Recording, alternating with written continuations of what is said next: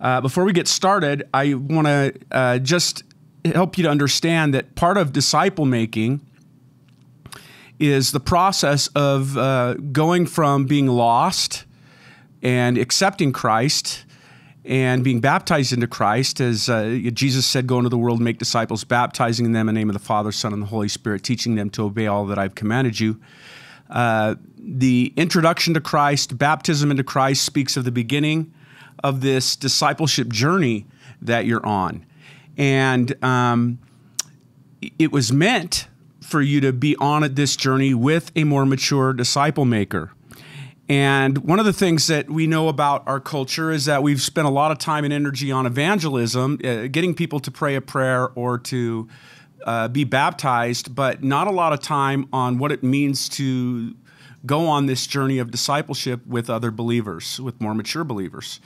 And so I just want to remind you that you were never asked to become a convert, you were asked to become a disciple. And so what we're doing in this series is um, defining terms so that you understand uh, a common language with us. And uh, we're, we're, basing these definitions on the Bible so that you understand what those uh, the, the, key words in Scripture mean.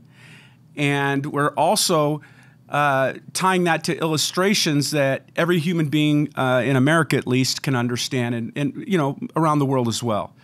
So we're using sort of a journey analogy of going on a road trip as a basis for this this uh, journey of spiritual growth we go on.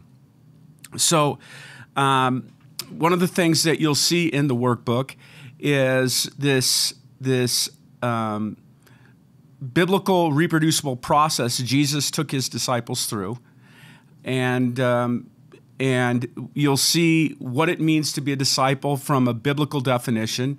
And uh, so you've gone through Matthew chapter 4, verse 19, or you will, Matthew chapter 4, verse 19, which is a root word or root verse for us here in our church. And we say it this way in the invitation is the definition of a disciple. Jesus said, Come and follow me, and I will make you into fishers of men. So a disciple of Jesus is following Jesus, being changed by Jesus, committed to the mission of Jesus. And we're going on this journey. When Jesus said, Come and follow me, I'll make you fishers of men, he was inviting them to go on a relational journey uh, of spiritual growth.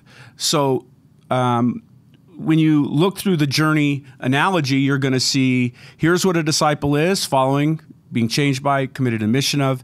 The journey, he got invited you, Jesus invited you into this relationship. Uh, and we call that a relational vehicle uh, the vehicle on this journey to spiritual maturity is relationship. And so um, when we are uh, disciple making, we are going on a journey with someone we've been invited to know Christ and go on a journey with us. And so there's a process. We call it the share, connect, minister, disciple process. Jesus shared who he was.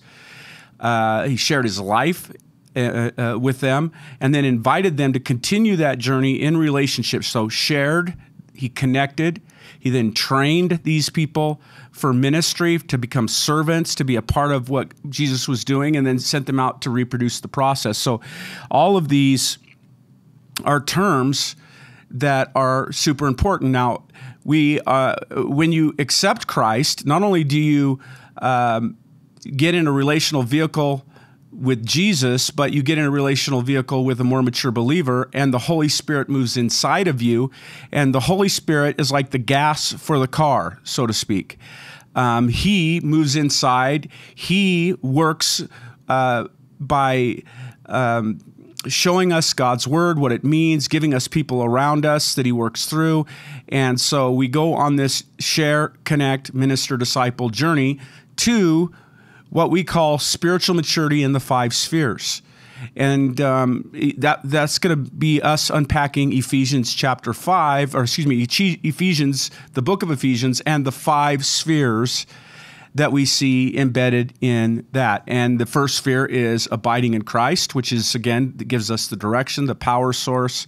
Uh, you're abiding in Christ when you spend time in the Word of God. The Word of God is a light into our path. You're abiding in Christ when you're with believers. Who who because the Holy Spirit's present, there's something going on there that changes us and moves us and motivates us towards spiritual maturity in every sphere of our life. Ultimately, the destination is maturity in every sphere uh, on planet Earth, but again, we all know the ultimate goal uh, the ultimate destination is we'll we'll be living with Jesus with a community of believers forever. So that's the ultimate goal. As you go through this series, uh, this this uh, series of podcasts, this journey in the workbook, as you enter into a discipleship relationship, I just want to make this clear to you. We our goal is to help you become a disciple of Jesus, who in the end is able to make disciples of Jesus. And um, you are a disciple. Again, uh, one of my good friends, Keith, uh, said he'd been Christian for many years and he came here and he found out for the first time that, that, that he was a disciple. Maybe you were never told you're a disciple, and maybe, maybe you were never told that the end goal for a disciple is one who's able to make disciples. But, but you are. And so as you go through this journey, we're hoping that you will um, go through the lessons daily, which builds into you a habit of spending time with the Lord and studying His Word. You'll be in a group uh, once a week where you talk about what you're learning and growing in. Um, and at the end of this, you'll be able to have a, a kind of a reproducible process to remind you uh, and to go through again yourself. But then you'll take this and then use it as a tool to, to disciple somebody else. And it, this will become a movement that really uh, puts some practical uh, application to being a disciple. Now, I want you to know that you just because you go through a workbook series like this doesn't mean you're a, you know, it's not a program where you go, okay, I'm mature because I've been through the workbook. Uh, yes, it's a 12 week three month process, but we all know that we learn more sometimes than others. We get stuck. It's a program. You're never done becoming spiritually mature. Paul himself said, um, you know, that forgetting what is behind, he presses on towards what is ahead, and that um, not that he has yet attained it, he says, uh, we'll never be done until we get to heaven. We're lifelong learners but uh, and this is not comprehensive. This book isn't meant to be comprehensive. There's subject matter that we didn't deal with because discipleship is it expands into every part of our life and it's very nuanced, but it gives us a foundation to start with. One other thing you're going to notice is for those of you who have been through the real life discipleship manual, that's like uh, for leaders. We train leaders with that, how to lead small groups, and we add some things like phrase from the stage and, and a lot of things uh, about leadership skill sets and leading small groups. This is meant to be for the person out there that maybe doesn't have a church that does leadership training. Uh, this is meant kind of as a starting place for you as a disciple who can learn to make disciples. The real life discipleship manual uh, would be something that I would take next after this that then kind of says, okay, what does it look like to lead a small group in a church or to expand from just me discipling one or two other people to ongoing training and leadership skill sets? So there'll be some redundancy there, but from a different aspect. So that's the difference between the real life discipleship manual and uh, the journey workbook. I'm excited about it. I'm, I'm hoping that it'll uh, teach you some some uh, abiding habits and how to be in relationship and how to be a part of what God is doing. And uh, I'm looking forward to you spending time with this. God bless you, and I'm praying for you.